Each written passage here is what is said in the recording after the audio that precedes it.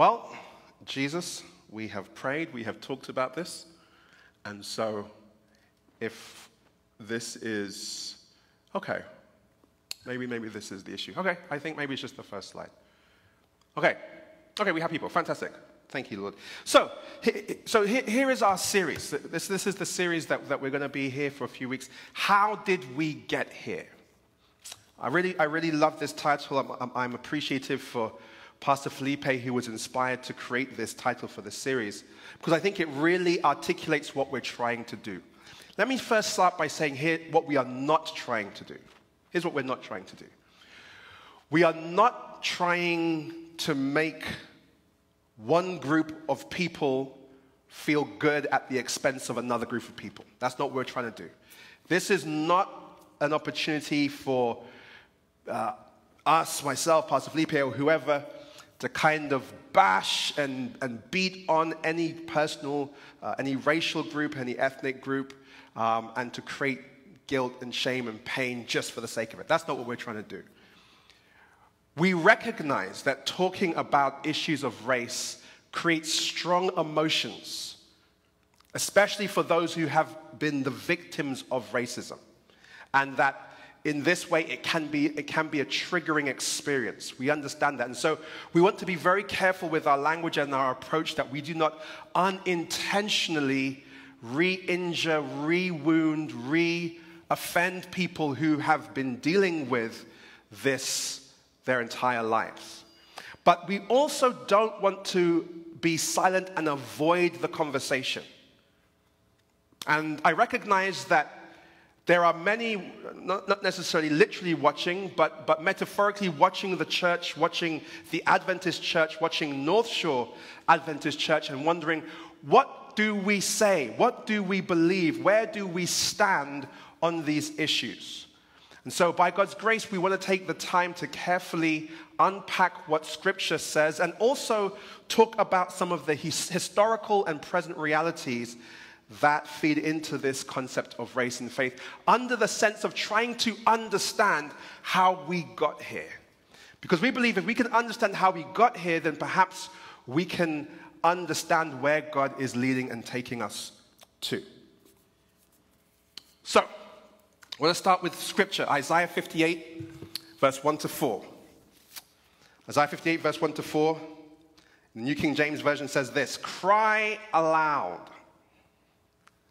Spare not. Lift up your voice like a trumpet. Tell my people their transgression and the house of Jacob their sins. Just in case it is not clear, it is the responsibility of men and women who stand for God, and especially those who stand behind the sacred desk, to declare specifically to God's people when there is transgression and when there is sin. Now, this is not comfortable. For those of you who have spent any time uh, in, in, in public communication, you know that you never want to offend your audience. That's like rule number one.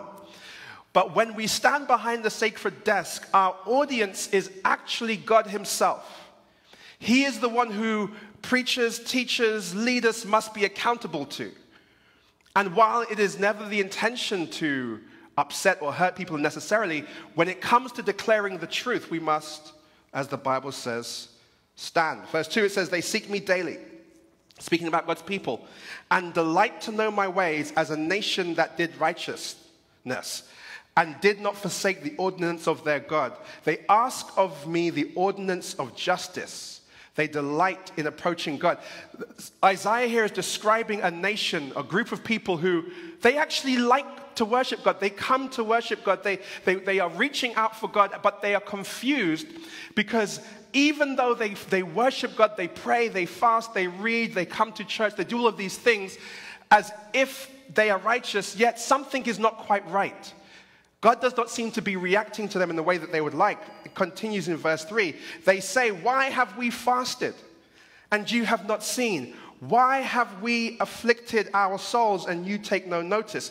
And then here comes the answer. In fact, in the day of your fast, you find pleasure and exploit all your laborers Indeed, you fast for strife and debate and to strike with the fist of wickedness. You will not fast as you do this day to make your voice heard and high. God is saying to his people, listen, I see that you are sincere in your desire to know me and be blessed by me, but there are some issues in your midst that you have to deal with before your prayers and your fasting will be heard. One of these issues, the way you treat your laborers. Another of these issues, the fact that when you are fasting, really what you're wanting power for is to be able to defeat the opposition in the debate, not really to know me. And God is saying, if you continue to fast like this, you will not be heard and high. Let's go to another text. Second Chronicles, chapter 7, verse 14. Well known passage.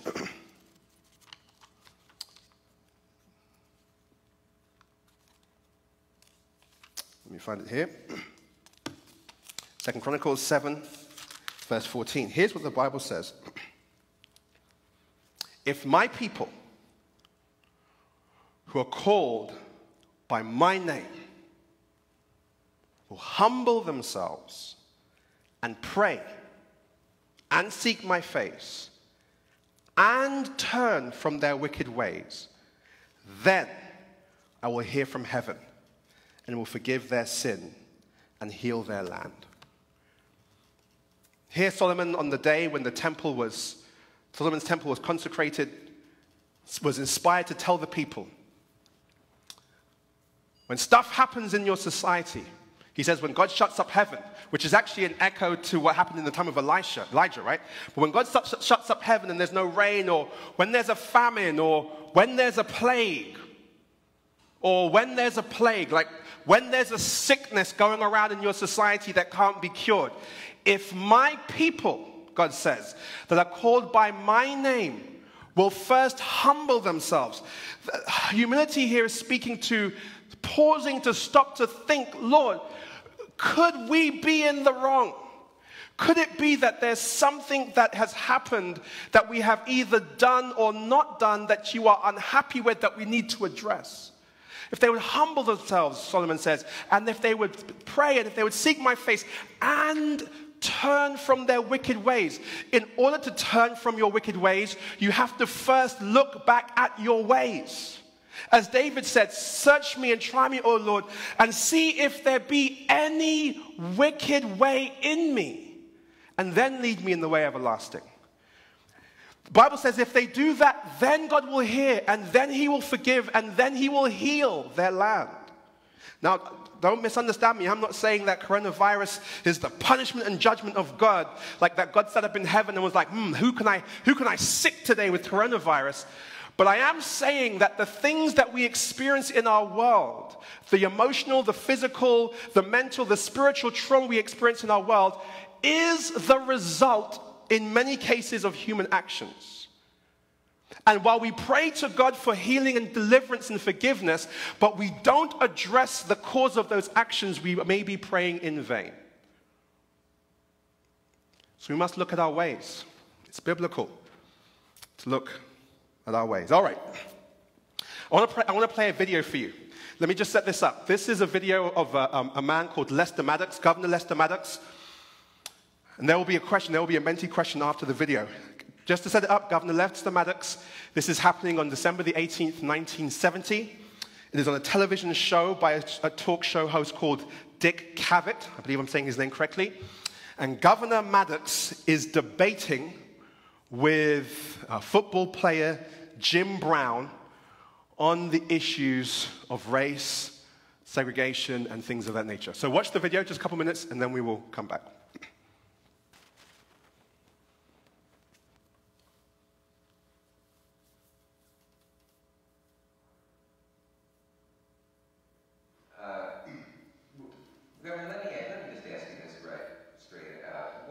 Understand racism to mean, or how would you define that, or segregation? Uh, would you say you're a segregationist? Uh, yes, and I believe uh, in my term, or my definition of segregation, yes, uh, and that is a, a segregationist is a person that loves his race enough, or other races enough, has enough of racial pride and integrity to want to preserve them. and I think a racist is one that doesn't care enough for his race or another race to where they would don't care whether they're amalgamated or destroyed or not. No, I, I think uh, I think that forced racial segregation is criminal and unconstitutional, and I think forced racial integration is criminal and unconstitutional. I think either one of them is, is cruel. You mean on a social? force. You mean on a social level? Any level, if it, where it's forced. well, we do have like uh, the laws. You mean when the laws are enforced, that if it involves uh, integration, then it is wrong. If it forces people against their will, against denying them their choice, to Then you separate or to be- integrate. there should be an It'd be just as wrong if, it, if, if the law would be just as wrong to, to force them to integrate as it would to be to force them to segregate. Well, don't you? If a country can finally get to the point of saying, well, you're going to hire this person, you're going to promote this person, you're going to serve this person, or you, then the country, same country can come right around and tell you you've got to work for that person, you've got to eat with that person, you've got to be served by that person. And this would be cruel and wrong, but so it is when it tells another person that you've got to do this. Believe it or not, I don't think that integration should be the number one thrust of uh, uh, our civil rights leaders anyway. Because I think what we're really talking about in this country is economic development of black people. Because I've found that, Economic development of all people. Well, we're talking about Well, how come underprivileged just people. black people? How We're come you just talking- won't do it for well, black I'll- people? How come you don't I'll want to do it tell for you- white people? I'll tell you why. Huh? I'll tell How come you you why. won't do it for everybody? How come you I- always black people? can Why I don't you get- talk about all people? Can I give you an answer? I think Can we I- understand the question. yeah. Can I give you an answer? Do you mind?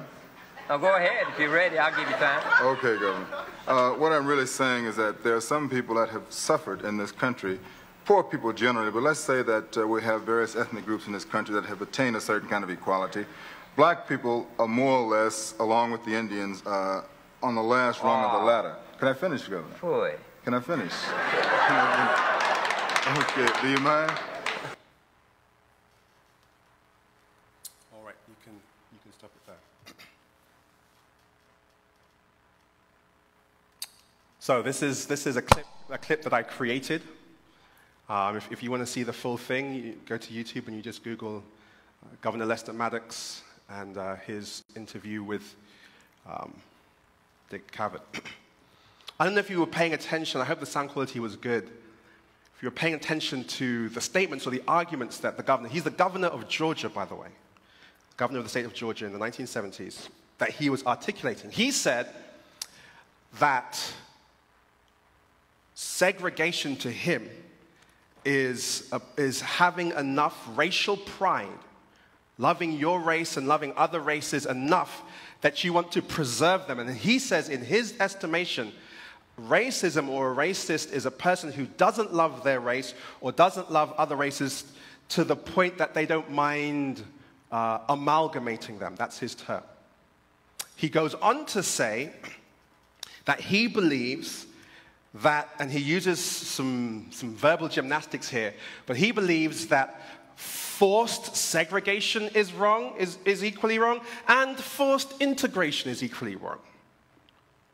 He said, no, it, we, you know, the, the government shouldn't get involved in, in forcing people to integrate or segregate. And this is, of course, in the 1970s, so this is five years or so after the passing of civil rights laws here in the USA. And he is still arguing for the continuation of the experience of segregation, certainly in his state, but one would argue in the South in general, based on this idea that the government shouldn't force people against their choice.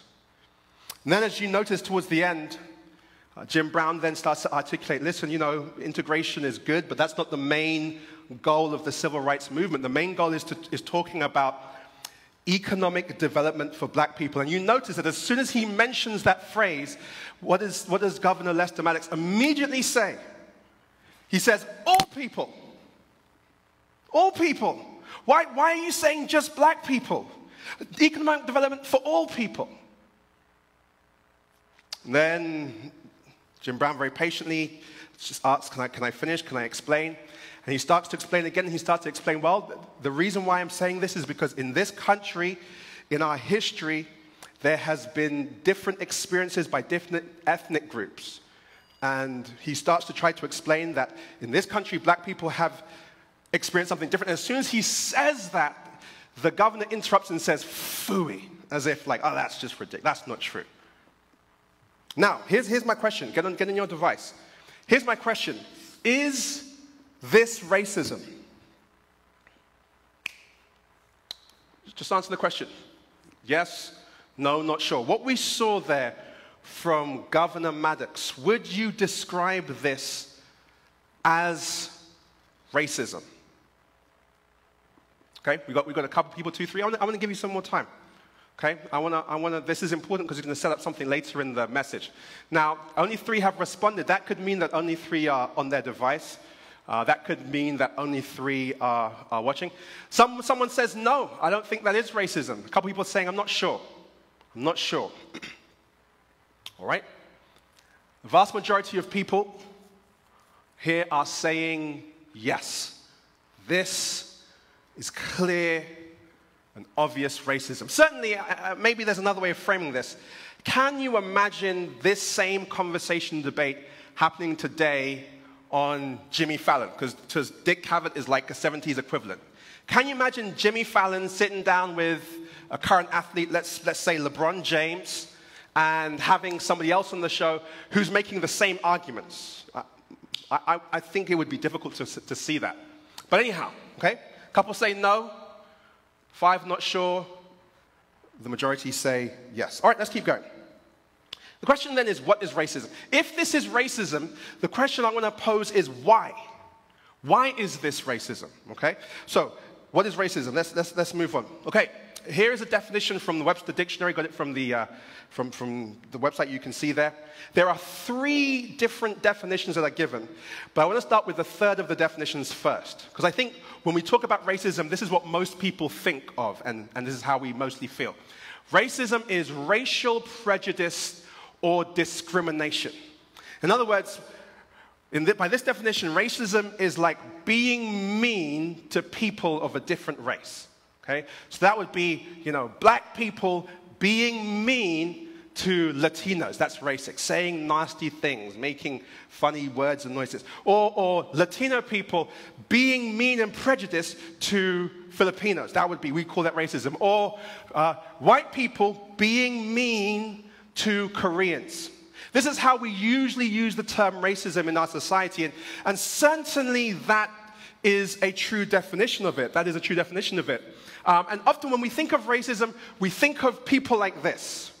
Remember a few years back in, in, in, uh, Charlottesville, um, there was this protest, and this man was, was, was famously pictured with his tiki torch, just shouting in his anger and frustration, so we assumed, about the state of the country and the fact that there weren't enough rights and considerations for men like him. And easily, all of us could point to that and say, ah, yes, racism. That's it. That's right there. And so, if we can get rid of these people, we'll be fine. This is how we often define racism. But here's the thing if racism is primarily or only about prejudice and discrimination, and therefore a matter of the heart, then the only difference I can make is in myself. Let me read that one more time. If racism is primarily or only about prejudice, that means preferring one group or another. Discrimination, that means not wanting to hang out with some group and like, you know, pushing some group to the side, which obviously is wrong. If it's only about that, then it's a matter of the heart, right? If, if you have that in your heart, then that's wrong. And if I have that in my heart, then that's wrong. And therefore, the only difference I can make is in myself. I can hope to become the nicest, kindest, lovingest, most open, most generous, you know, most equal opportunity person I can be. That's all I can do. All I can do is control myself and maybe pray for you that somehow God would help your heart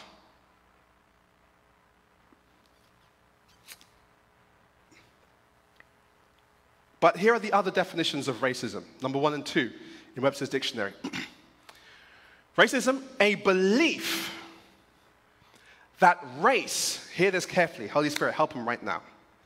The belief that race is the primary determinant of human traits and capacities.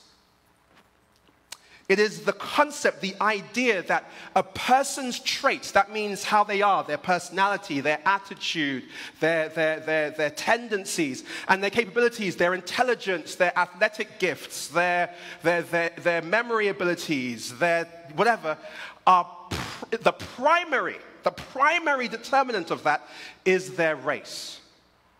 That's the first definition. Now, notice this definition has nothing to do with being mean, saying bad words, laughing at memes that you shouldn't laugh at. It has nothing to do with that. It's about how you think about not just others, but also yourself. Right? Okay, that's number one. Number two, second definition, oh, sorry, it's a continuation, and that racial differences produce an inherent superiority of a particular race. Right? If, if, if one believes that the primary source of a, of a person's capabilities and tendencies is their race, and if we live in a society where we value certain tendencies, then by definition, it creates a ranking and there will be a superiority by definition. Not, not, not because I feel good or I feel bad or because I hate one or I love the other, but if that's how we set out the construct, necessarily one group will have more of the traits and capabilities that we like right now, and another group will have less, if that's how we think of it and if that's true. This is the first definition of racism. Okay, next. The second is a doctrine or political program based on the assumption of racism and designed to execute its principles. So the second definition is if we assume that number one is true, now just think it through. If it really is the case that there are some people who, because of their race, have certain traits and qualities that we want, shouldn't any wise government create programs and policies to make sure that those people have more access to the things that will benefit the society? Conversely, if we believe that there are some groups of people that have traits and tendencies based on their race that are not desirable, wouldn't it make sense to create a system in which we don't allow them to have access to things that could ultimately mess up the society? Friends, you discriminate like this all the time in your family. When your children were three, how many of you let them play with knives? How many of you are like, listen, equal opportunities. If my three year old baby wants a knife, girl, kids' power, we're going to give them that. Of course you didn't. Why not? Because you're like, listen, there is something about being three that biologically, scientifically means you don't have the capacity to handle dangerous objects. You're wonderful, we love you. In fact, if anything, we love you more, but we're not going to let you play with the knives. And that's good parenting. That also happens to be biologically true and also happens to be biblically founded. The question is is the same true about race? Because if it is, then it doesn't make sense to let races that don't have the qualities you need be in situations where they will not benefit the society. That's, that's in many ways just, just logic. Okay, let's move, let's move forward. All right. Finally, it's the political or social system founded on racism. So, how did we get here? This is what we're trying to answer the question. If this is the definition of racism, how did we get here? Second question Does racism exist in the Bible? Based on these definitions that we have just found, and the answer is kind of yes or no. Let me, let me see if I can show you very quickly. If you turn in your Bible to the book of Numbers, Numbers chapter 12, verse 1 to 2. Numbers chapter 12, verses 1 to 2, and then 9 and 10. This is probably the best example, the example most cited when people look to speak about racism or discrimination or prejudice as it occurs in Scripture. Verse 1 says, Then Miriam and Aaron spoke against Moses. Okay, pause. This is after coming out of Egypt, after going through the Red Sea, after all of that good stuff. Okay? Uh, they spoke against Moses. Notice the, notice the text. Because he was a bad leader? Because his sermons were too long and they were missing out on lunch, might be a good reason to speak up, but that's not was mentioned. Because they didn't like that, you know, only he could make decisions? No. It says because of the Ethiopian woman whom he had married. for he had married an Ethiopian woman.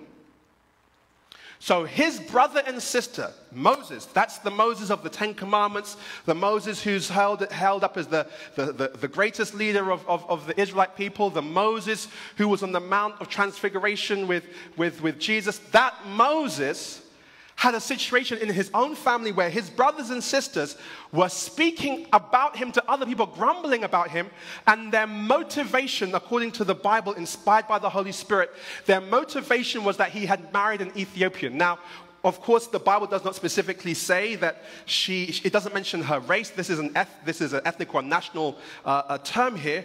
But we can assume that she was someone perhaps of a darker hue than them. Although, of course, as Palestinians, they themselves would have been of a darker hue. Amen. Because they weren't Northern Europeans in Egypt and the Sinai Peninsula. Okay, we're good. But they had an issue that he had married this Ethiopian. Now, maybe it was just cultural. Maybe it was that bad. We're just not into that injera that she was trying to cook around mealtime. We're just, we're just not feeling that. I don't know. Maybe it was a colorism thing. Who knows? But all we're told is that they had an issue with his wife because she was Ethiopian.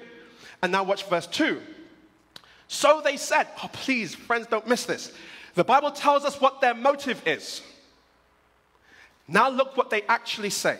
So they said, Has the Lord indeed spoken only through Moses? Has he not spoken through us also? And the Lord heard it, heard it. So their motive is something cultural, ethnic, whatever, but their language has got nothing to do with that. If you ask them, hey, do you hate Ethiopians? We don't hate Ethiopians. Listen, my sister in law is an Ethiopian. I just feel that we need different leadership at this time.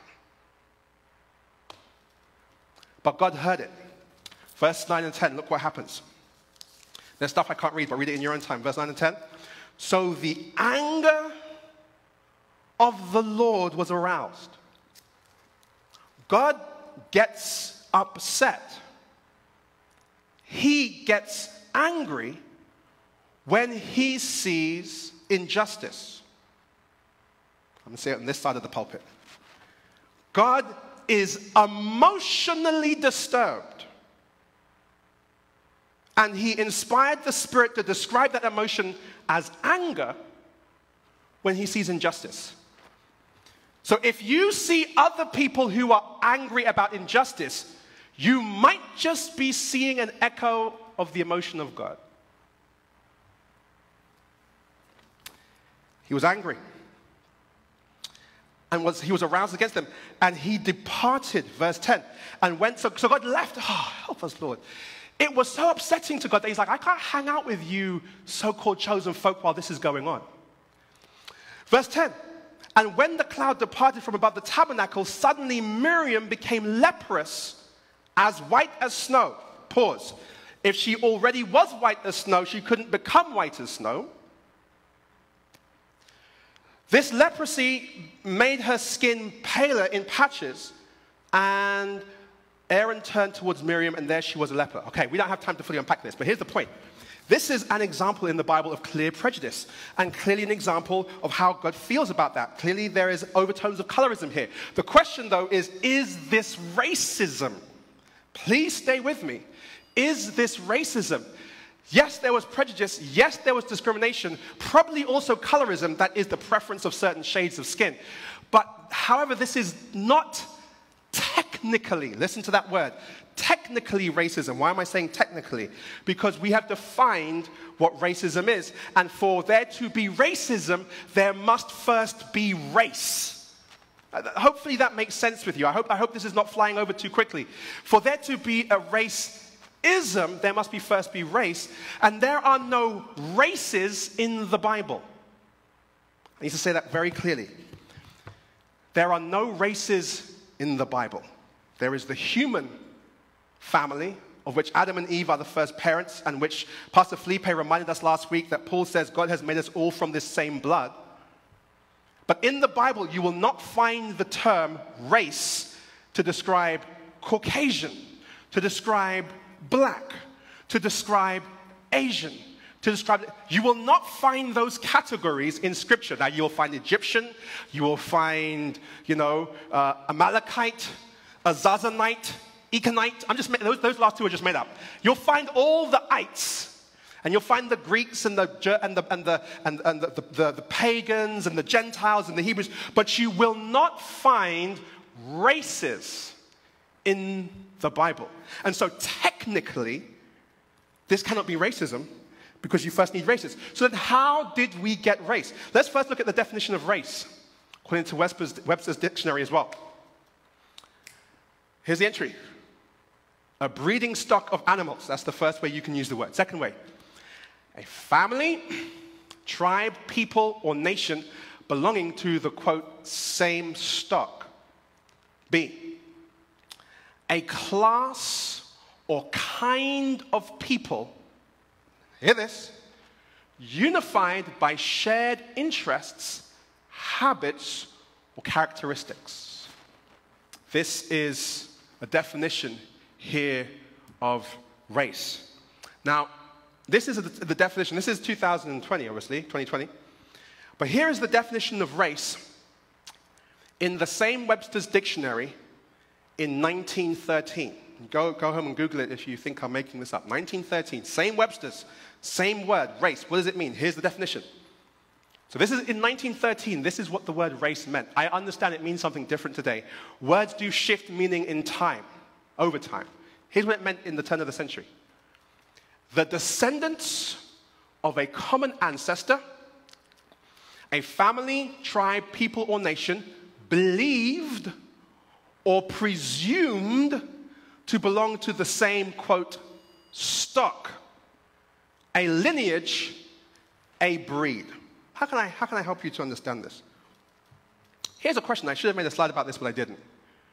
Clearly, there are, the, the scientific term is phenotypical, which means the way that things look.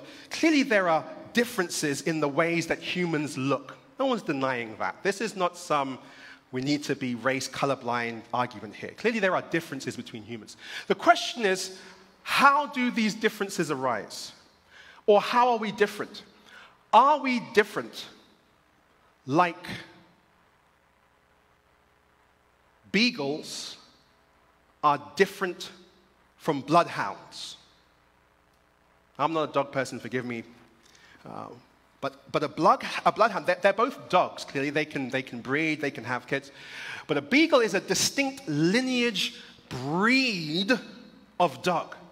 And a beagle has distinct characteristics based on its breed. And if you want a dog that has certain kinds of characteristics of a beagle, then you ought to get a beagle. On the other hand, uh, hand a bloodhound is a different breed of dog. They're both dogs. They're equally dogs. No one is more a dog, less a dog. But, but certainly a bloodhound is a different kind of breed of dog. And maybe there may be size differences, color differences, smelling ability differences, etc., etc., etc., between the breeds. Are humans like that? Or are humans like the differences within the group of beagles? So there are beagles. Some beagles happen to be big beagles. Some beagles happen to be small beagles. Some beagles happen to have longer hair. Some beagles happen to have shorter hair. Some beagles happen to be a little bit stronger. Other beagles happen to be a little bit weaker. Is that, is that how the differences between humans is distributed? Or is it the first way? In the 19, in 1913 and before and after, they believed that the differences was like the difference between beagles and bloodhounds. That these different races were different breeds of humans. And if you think about it, you know this to be true based on language because you have heard the now not often, hopefully, used term to describe a person whose parents are of different race, where they refer to that person as half. What? Breed. The concept that there are these fixed lineages and breeds or races. Now, here's where it gets, here's how it gets more interesting. This is, this is a footnote in the same uh, Webster's Dictionary of 1913. It says this Naturalists, those are scientists who study nature, right? And ethnographers, those are scientists who study ethnicity. divide mankind into several distinct varieties or races. Uh, Cuvier refers to, to them all to refers them all to three. Pritchard enumerates seven. Uh, Agassiz eight. Pickering eleven. In other words, they disagree on how many they are, how many there are, right? But then he comes to this. Blum, Blumenbach, who makes five, the Caucasian or white race, to which belong the greater part of the European nations and of those Western Asia, the Mongolian, and I'm reading the language in context, even though I understand that these words can be upsetting and offensive today. The or yellow race, occupying Tartary, China, Japan, etc. The Ethiopian or Negro race, occupying most of Africa except the north. And why except the north? Because Egypt is there and there are pyramids there, and that, hmm, that's, surely that can't work. So, except the north. Okay, let's keep going. Australasia, Papua, and other Pacific islands. The American or red race, comprising the Indians of North and South America, and the Malayan or brown race, which occupies the islands of the Indian archipelago, etc. This is Webster's dictionary. This is what they mean when they're talking about race. Okay?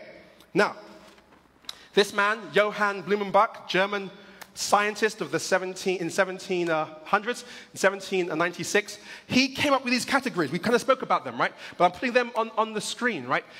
Before this, before Blumenbach, certainly people categorized themselves. Humans have always categorized themselves. But they did so tribally. What does that mean? Well, if we are all related, so in this town, in this village, in this section of the country, we can trace our lineage back to one common grandfather, great grandfather, whoever, then we are the same tribe. And certainly, we don't like the tribe down the road. Man, the tribe down the road can eat rocks, but we're the fill in the blank tribe. Humans have always done that, absolutely. Uh, linguistically, we've categorized ourselves. We all speak the same language. Many of the countries that you are from there are different languages and dialects within your country. Before we made these bigger groupings, people would identify by their language group. Certainly, people used to identify by geography. We all live in this area. But it was in 1779 that Blumenbach invented, hear my language, invented the category of race. He said, and this was not just some ideas, this was science at the time. He said that no, all human beings can be divided into five breeds, five types, five varieties Caucasian, Mongolian, Ethiopian, American, and Malayan. He started that.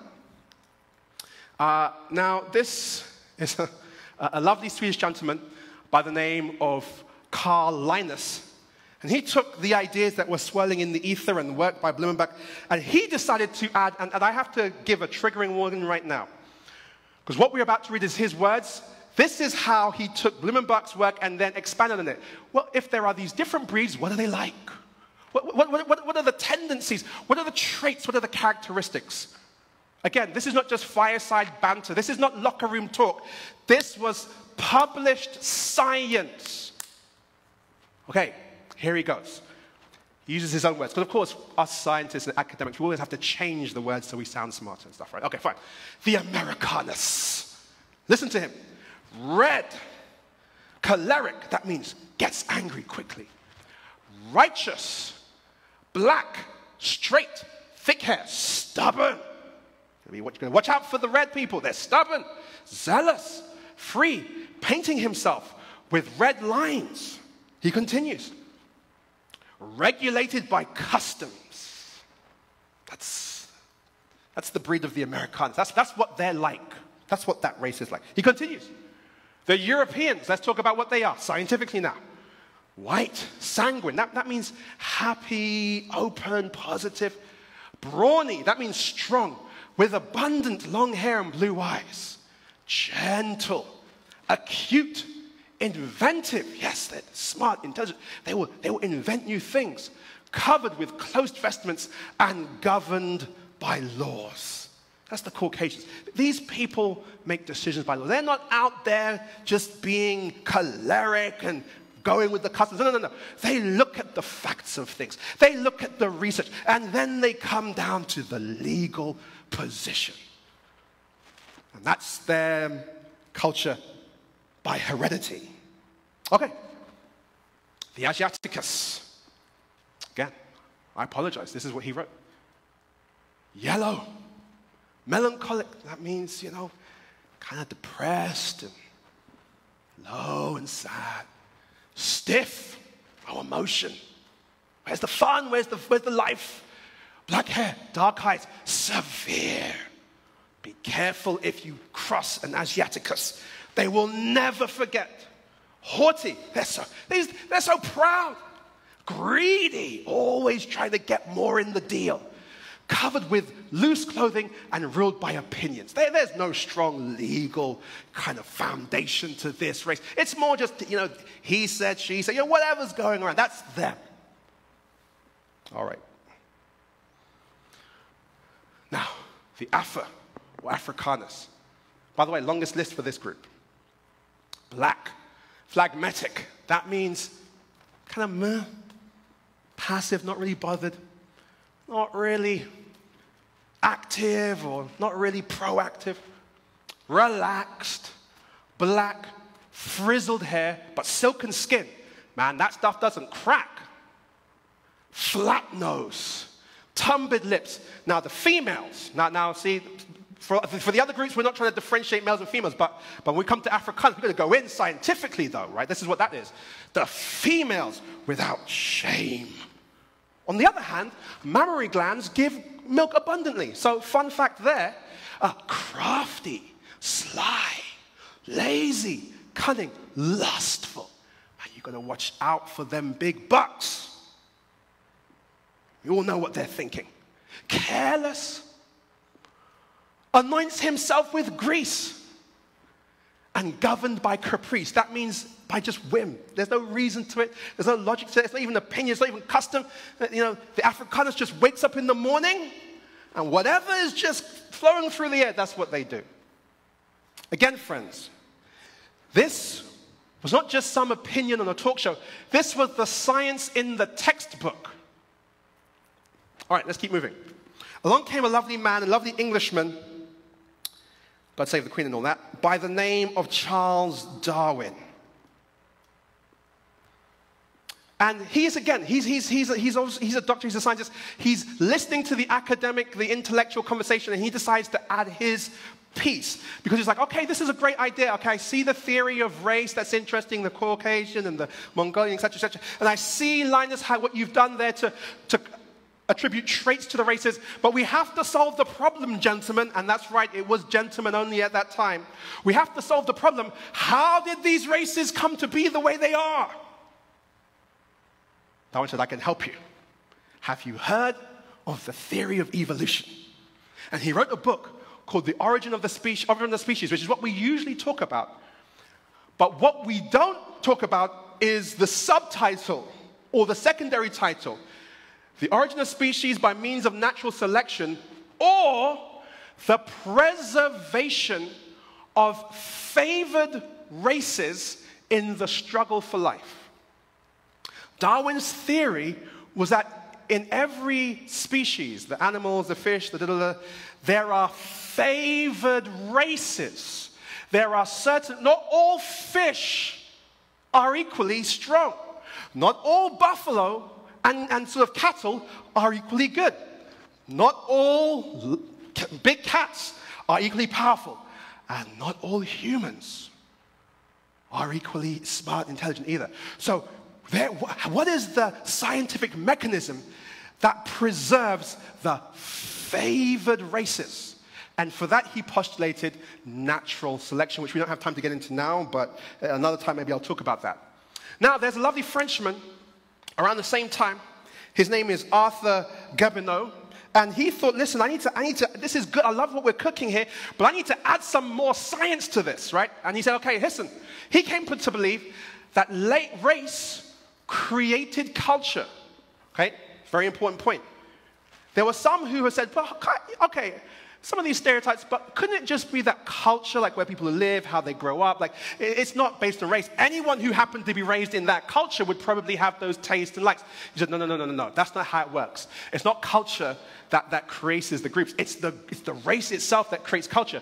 And he was arguing that distinctions between the three, black, white, and yellow races, were natural barriers. He said, yeah, okay, we have a few others, but, but let's be clear. Black, white, and yellow, those are the three main groups. And he went on to say that race mixing breaks those barriers down and leads to chaos. And he also believed that the white race was superior to all others. So he said, listen, thank you, Darwin, thank you for the, for the scientific mechanism, but let me add this piece. Let's all remember that we've got to keep these groups by themselves because if we don't, if we let them mix, there'll be chaos. And the weaker races will dilute the stronger race. All right? He thought that the white race that was superior corresponded to the ancient Indo European culture, also known as Aryan. He was the first to make that connection. So if you've heard people talk about Aryan this, Aryan that, thank Gobineau. He was the guy who invented and added all of this. Then comes along Charles Darwin's cousin, Francis Galton. And he says, Guys, you've been doing good, but I need to, I need to pull all this together and we need to make an academic discipline that we can take all of our scientific findings and be able to clearly communicate it to the world. And so he created, invented the academic discipline of eugenics. Have you ever heard this word before? Some of you, maybe you haven't. Eugenics was an academic discipline. In other words, you could go at one point to Harvard University and study eugenics. It was a real thing. Not just Harvard, Oxford, Cambridge, fill in the blanks. Okay. The meaning of it is to be well born. What, what, was, what, was, what was Galton's kind of theory? He said this listen, in basic terms, he says that disease, mental illness, first two maybe could make some sense, poverty, even morality and criminality were hereditary. That was his argument that since we now know for a scientific fact that there are races, and since we now know, thanks to Linnaeus, as a scientific fact, that there are these different characteristics in these races, and since we now know, thanks to Darwin, that this comes through evolution, then obvious, and since we now know, thank you, Gobineau, that, that the white race is, is superior and there are these blocks that we must block from intermixing, then the obvious conclusion is that these characteristics of these races are hereditary. The reason why the black man is lazy is because he's born that way. The reason why the red man is, is so choleric and gets angrily easy is that's his DNA, that's his genetics. It's not his fault. The reason why the white race is superior and we invent things and we have created this great democracy in America is because we, we inherited this from our fathers. So he decided listen, if we want to get rid of, I mean, think of the perfect society no crime, no poverty. Don't you love the sound of that? No disease, no immorality. I mean, that almost sounds like heaven. How could we create heaven on earth? Galton figured it out. It's through eugenics. Humanity, he said, can be improved by the selective, that should say selective, forgive the typo, selective breeding of fit people. That means the good ones, the ones with the good stock, the good breed. Fit people and the prevention of breeding by the unfit people. Friends, you do this on the farm all the time. You have a good, strong cow, produces a lot of milk, very calm, docile. You want to have new calves. Which, which cow do you allow to breed? You find a good, strong bull, come from good stock, virile, powerful. And you make sure that you get those two to breed. Why? Because then the offspring will inherit the characteristics. We've been doing it in the farm all the time. Galton just made the logical leap to say, let's do this with the humans. Guys, why are we out here trying to talk to people and say, hey, maybe you want to think about not indulging in immorality? We could make it easy. We could just breed it out.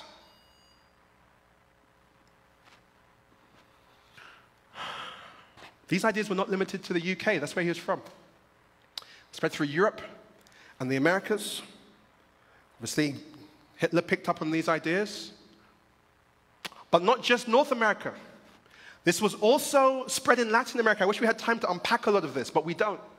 In many Latin American countries, they operated a policy of, and I'm going to, butcher the Spanish, so, so, so I apologize in advance, but blanqueamiento, or whitening, after colonial rule. So after Spain and Portugal finally let go of Latin countries, many of those countries then took these eugenics. And again, understand, if, if, if we want to give a, a little piece of like grace to, to those people. This was science. This wasn't going in some room with a bunch of people in hoods going, man, I hate those N words, let's get out there. No, no, no. This was going to the lecture hall with the academics and the wine and the, and the cultured people, and they played Bach and Handel before it. And then they had the scientific presentation. What developing nation wouldn't want to follow the best scientific ideas to, to, to progress? We do it right now, right? This happened after colonial rule. This is what happened. In fact, there is an image by uh, a painter, a Spanish painter, uh, whose name is Modesto um, Bracos, Bracos, I think I'm saying, I'm, I'm butchering it, in, in 1895, who was in Brazil. And he painted this picture, and the name of the picture, and if you listen to last week's sermon, it's going to make sense. Well, our Brazilian pastor, grew up in New York, Pastor Felipe said he heard this picture is called the redemption of Ham. You remember Pastor Felipe said that he, he heard growing up that, that, that black people were, Ham was cursed to become black, and that's what the black people are. Here was this picture of the, of the, of the policy of whitening in Brazil. And here we have the, the black, the African grandmother. And look at, look at her. She's worshiping the Lord Jesus. Thank you, Lord, for the blessing on my life. Because she has had a mixed race daughter. Now, now the husband is not, the father's not in the picture. And if we had time, we could talk about that. But by God's grace, she's raised that daughter by herself. And praise the Lord Jesus. That daughter has attracted the attention of a wonderful white husband. And they've had a son who's white. And so Ham's curse has been removed. Ham's race has been redeemed by the beautiful truth of well breeding eugenics. This is what they did. And if you take the time to think about it, you look at the phenotypes of our Latin brothers and sisters, you can see the evidence of this policy. At that time, they invited millions of Europeans to emigrate to these countries for free to whiten them. But here's where the chicken, as it were, has to come home to roost. This is, this is actually a parrot. Because right now we're talking about a lot of stuff out there. And it could be easy for us as Adventist Christians to say, well, that's, that's good, that's true, Pastor, but what does that have to do with us? Well, here's the part that is really disturbing and sad. You've heard of the man, John Harvey Kellogg. How many of you ate some of his cereal this morning. As Adventists, we have kind of a, a, proud relationship with him. We know that after a while he left the church and did some weird stuff, but man, we, you know, he, an Adventist invented Kellogg's cornflakes. That's the health message at work. I mean, they added sugar and messed it up, but, but, but the point is, we mean something. Adventism has added to the great story of, of the world in America. The Battle Creek Sanitarium, where they implemented the principles of the health message in the vision that Ellen White had. Wow, we love that history. This is an article I found written January 9th this year by the Battle Creek Enquirer. Forgive me, it's cut off, but you can go to their website, Google it. Battle Creek Enquirer. The, the title is How Harvey Kellogg Was Wrong on Race. I'm going to read a few quotes from this, just for the sake of ease. Here it goes. Forgive me, it's small. It's the best I could do. Screenshot it if you're at home on your device and enlarge it, and you can. Kellogg's support of eugenics was tepid to begin with. It means in the beginning he wasn't like he wasn't completely sure about the whole eugenics thing. I mean, he's a doctor, right? So he's in the academic world. He's seeing, reading all the papers, reading all the books. This, this is the latest cutting edge science. And, but at first he wasn't sure. It continues.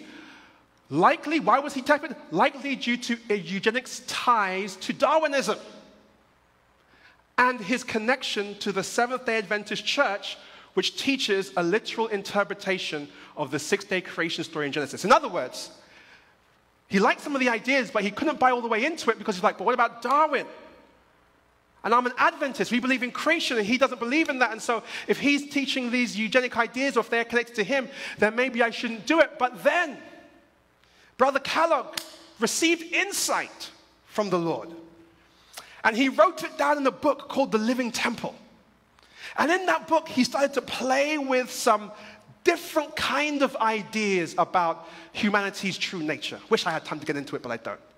But what this book allowed him to do, and by the way, the Spirit of God through the, the message and ministry of Ellen White warned him repeatedly to not go down this road, but he didn't listen. What this book allowed him to do was to give himself a spiritual bridge to these scientific ideas. So he was able to somehow, with one hand, kind of hold on to his faith, but also make space in another hand for him to hold on to these new popular ideas. And eventually, of course, we know what happened. He, he ended up letting go completely of his faith and, and going with, with the science. it wasn't the article, this was not written by an Adventist. But it's true, it wasn't until his break from the church in 1907 that he began to truly embrace the ideas. Here's, here's, here's just a quick preaching point. I know that the Adventist church at times can be annoying, it can seem slow, it can seem backward. I know that sometimes Christianity and the Bible itself can somehow just seem like ridiculous in times like this. And there are so many more powerful and exciting ideas and movements and groups out there. But there is something about standing with God that even when you don't understand it, and even when the greatest thinkers can't comprehend it, it can keep you from going off the cliff. So when he lost his connection to the church, he then fully invested in these new ideas. What happened next? Kellogg combined his belief in euthenics, the improvement of human functioning by improvement of human conditions, to come up with his own brand of eugenics he referred to as race betterment. You know what he did?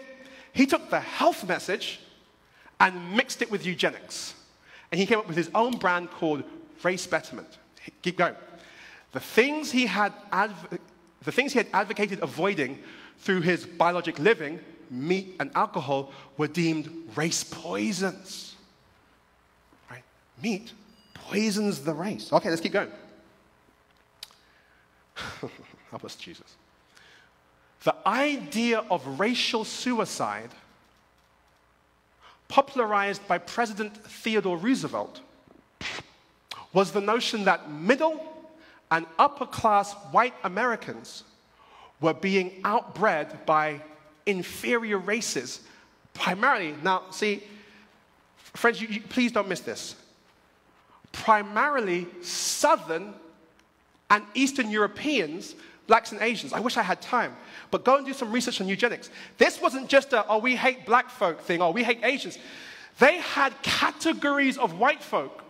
And there were immigration laws which made it more difficult to immigrate to the United States if you were not from Northern Europe, Germany, Britain, and Scandinavia. We literally are across the street from Swedish Covenant Hospital as I preach this right now. There were laws that said there were quotas for you if you were from Italy, if you were from Spain, if you were from Portugal, and if, God forbid, you dared to be from Eastern Europe, if you were Romanian or Polish or Slavic. They didn't want you here because, yeah, you might be Caucasian, but you're, I mean, you're not at the top of the tree. So be careful how quickly you say, oh, this, this is an issue for other folk. No, no, no, no, no. This issue may have infect, impacted your own family. And they said, we, we gotta, we, we gotta keep those Southern and Eastern Europeans and obviously the blacks and Asians from mixing with the, with the pure middle class and upper class Americans here.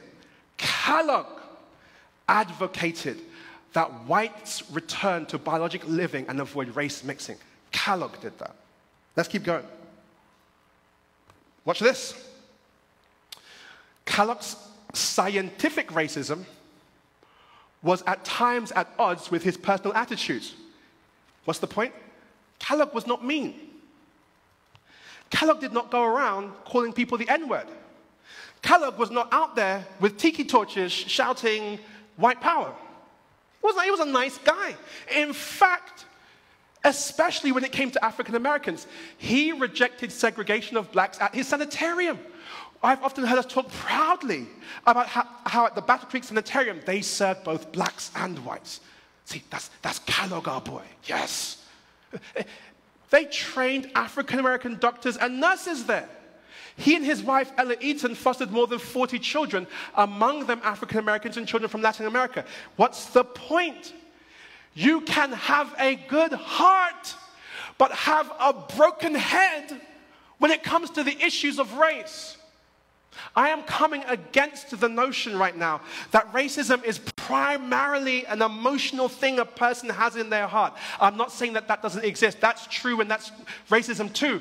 But the real issue is structural, intellectual, academic, and in, put into policies and laws racism. Ideas based on the categories, the false categories of race.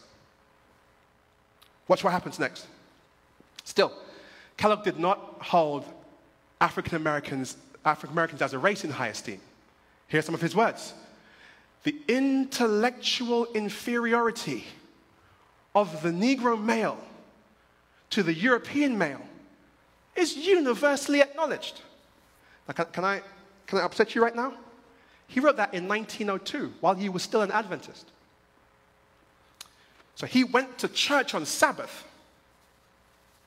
talked about the coming of the Lord Jesus, ate a good vegan lunch, went for a walk, and then wrote, Now, we all know that, like, those black guys aren't nearly as smart as us white guys. While training black people in his school. And if anyone had asked him, Kellogg, man, you know, some of your stuff on eugenics, I'm not, I'm not really not sure I believe in that. What would he have said? Are you, are you, you accusing me? Do you know how many black people I've Do you know how many people we've fostered? Do you know? Friends, what if racism is not primarily about what you feel in your heart? What if it could be the unconscious and sometimes conscious beliefs of your mind? Let's continue. We're almost done. Sorry, this is so small. Screenshot. Can we honestly say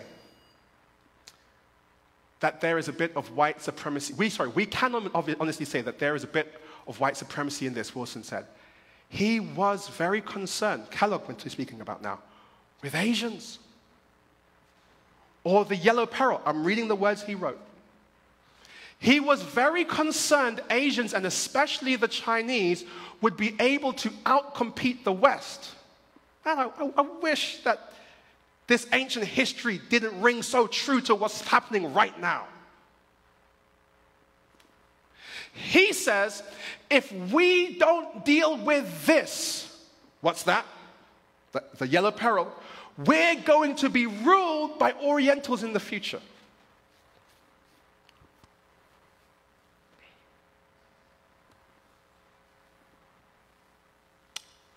Friends, believe it or not, it gets worse.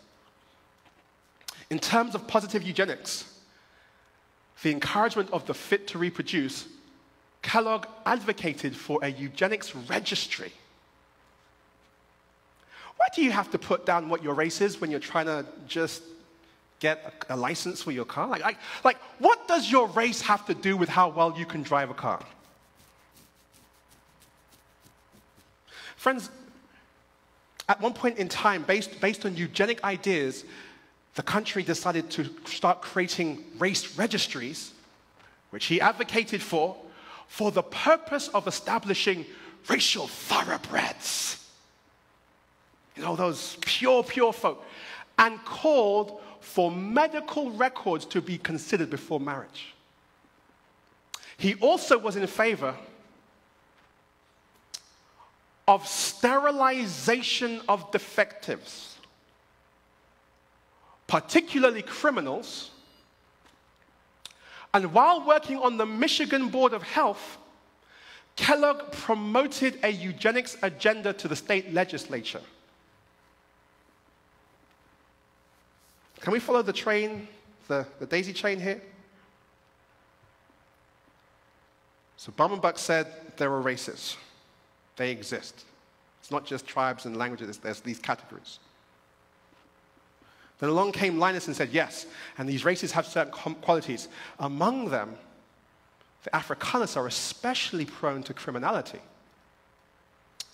Then along came Darwin and said, listen, we've got to explain how this came. It came through evolution, through natural selection. In other words, it's hereditary.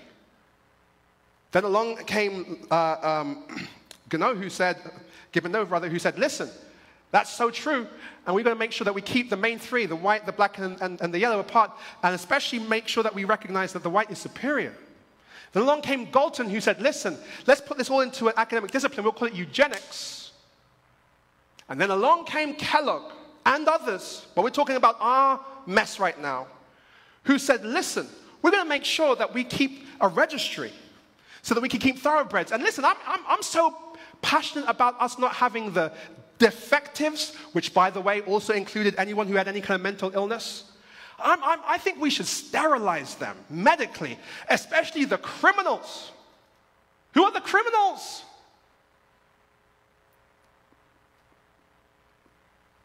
And he got the Michigan Board of Health to promote this at the state legislature. He got laws created based on his eugenic, racist, white supremacist ideology. I'm not just saying these words because they're buzzwords right now. That's the technical definition of what that is. Watch what happened next. We're almost done. The legislature passed it.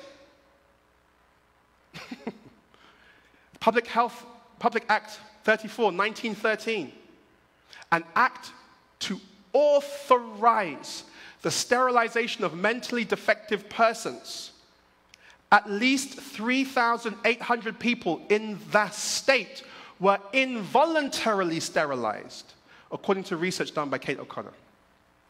So it's not just that he had these ideas. It's not just that he had a group with friends and when no one was looking, they used to make bad jokes about people. It's not just that he got actual laws that resulted in actual people having real doctors take actual surgical instruments and cutting uh, their, their reproductive organs so that they wouldn't reproduce because they were of the wrong stock. Friends, this is what people are talking about when they say Black Lives Matter. I know that, that for some of you, and by the way, did you notice how Maddox in the 70s, in the 70s, in the 70s already had the language of all lives. Did you notice that? The idea that, listen, I, let's not just talk about one single group's issues. Let's just talk about all the groups, and then if all the groups have success, then hopefully every group can figure it out. But the issue is that there used to be actual laws that favored and disserved some groups based on actual science they believed, promoted by people, including one of our own. And when Kellogg left the church, did we suddenly all get the good news that there's no longer slave nor free or, or male or female or Greek or Gentile? Did we all get that? Is, there, is it possible that some of this thinking found its way into the fact that for a long time, if you were black, though you could go to the sanitarium, you couldn't go to Emmanuel College, later Andrews University? Is, is that possible? Is it possible that as Adventism grew among African Americans and they became a more prominent part of the church, that the decision was made to create a separate conference. Because what if you have a spirit filled, thank you, Lord, young black man go to camp meeting and meet a spirit filled young black woman and across Bible study They meet eyes. What if, what, if that, what if that starts to weaken the race?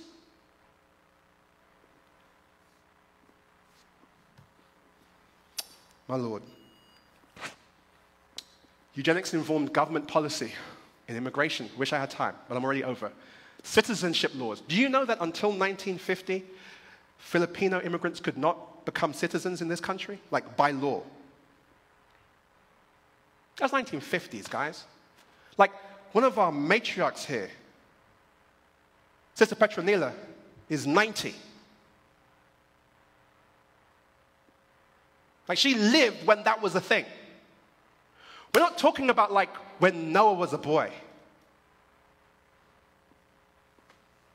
It, introduced, it influenced redlining laws in cities. See, in the South they had Jim Crow, but, but here in Chicago they had redlining, which meant we can't legally segregate, but we can keep certain groups in certain neighborhoods by law.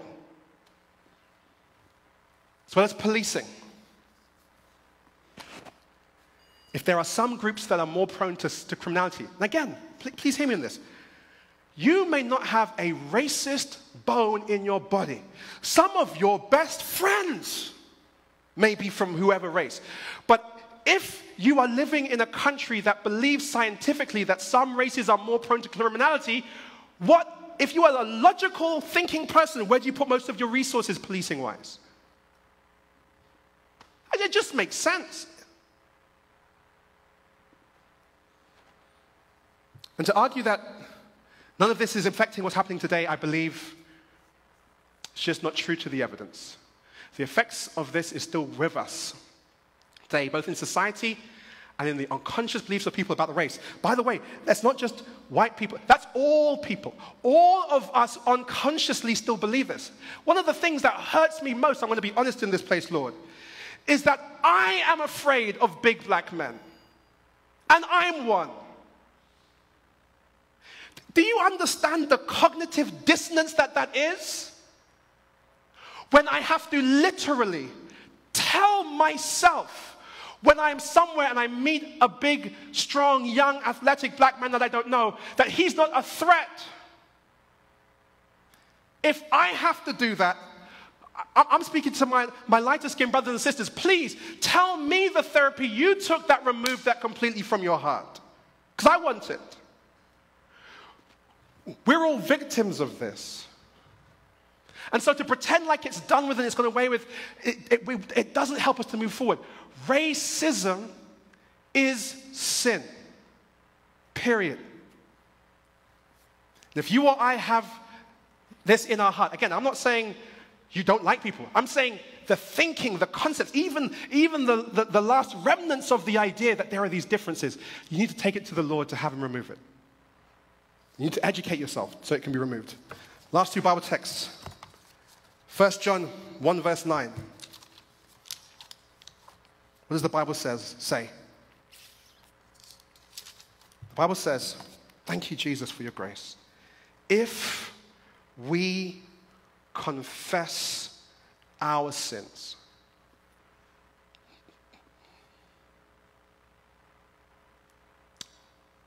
that feeling that you get when you think about your beautiful daughter. One day, when she gets older and she can choose to marry someone, and she marries someone that doesn't look like your people, yeah, if we confess our sins, that feeling that you get, that, that, that thought process that you get, that there are some people you have to be more careful of, that's sin. The sin that you have stood by and seen laws that benefited you and did not benefit your brothers and sisters, but you did not say anything because it was working for you. That's sin.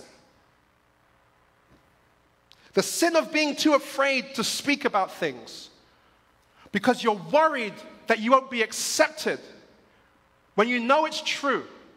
I'm going to confess that sin. If we confess our sins, the Bible promises us that He, that is Jesus, is faithful and just to forgive our sins and to cleanse us from all unrighteousness. But there's one more. There's one more text, and then we're done. Daniel chapter 9. Daniel chapter 9. Daniel chapter 9, Daniel has had a vision that he doesn't understand. Stuff is going on prophetically, he has been told it, but he doesn't fully know how to make sense of it. And he's praying. And in his prayer, he is confessing, notice this, he is confessing not simply the things that he himself personally did, but he is also confessing the sins of his ancestors. Because there is a biblical precedent and mandate that I can confess to God for stuff that maybe I didn't do, but my daddy did, or my granddad did, or my grandma did. That's okay. And look what happens. He's confessing his sins. We're going to read, we don't have time to read it all, but in verse 20 to 22 it says this Now, while I was speaking, praying, and confessing my sin and the sin of my people Israel, and presenting my supplication before the Lord, my God for the holy mountain of my God. Verse 21. Yes, while I was speaking in prayer, the man Gabriel, whom I had seen in the vision at the beginning, being caused to fly swiftly, reached me about the time of the evening offering. And he informed me and talked with me and said, Oh, Daniel, I have now come forth to give you skill to understand. Friends, there are some things that we will not understand, that God will not give us skill to understand. There are some issues that we will not be given power to solve until, like Daniel, we confess our sin, yes, and the sin of our people. Whether that be our church history people, whether that be our personal family history people, whether that be our nation history people, whether that be our cultural, I don't, I don't know what the group is, but, but unless we are honest and humble ourselves before God, there are some blessings we won't receive. And aren't you tired living in Babylon? Yeah, I know we make the best of it, but aren't you tired living in a world and a system which is ultimately against God? Don't you want to escape? We're going to do what Daniel did. I know this is a hard message.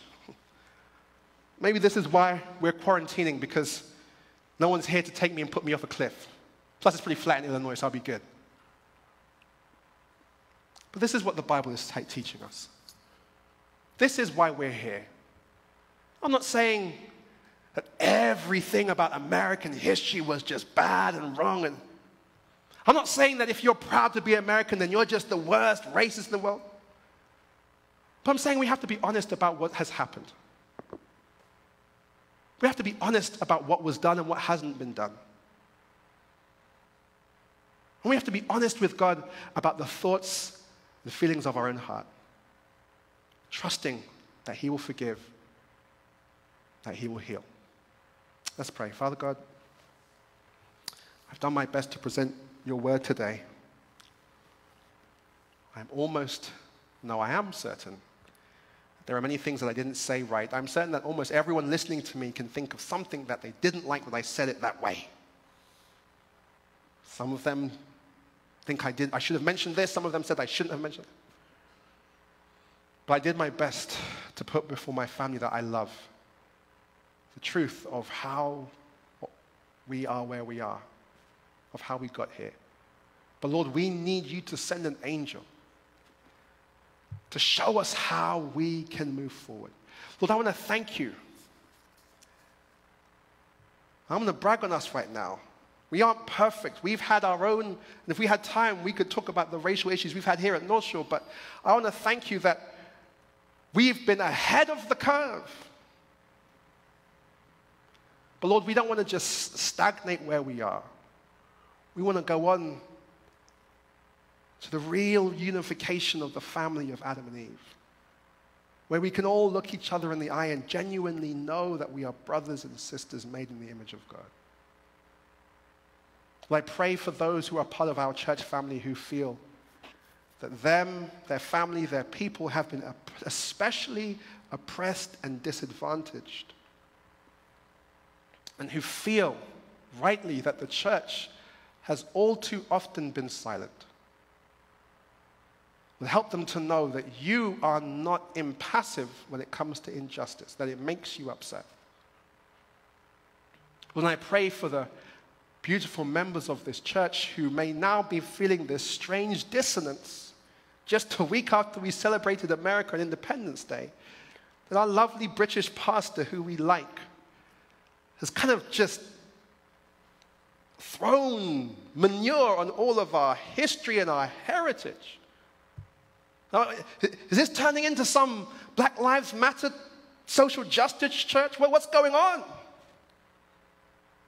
I pray for that brother and that sister that you would help them to understand not so much my intent, but the intent of Scripture. And that you would guide them through what is, I understand, a painful experience of maybe rethinking and reevaluating your identity in order to find it anew in Christ.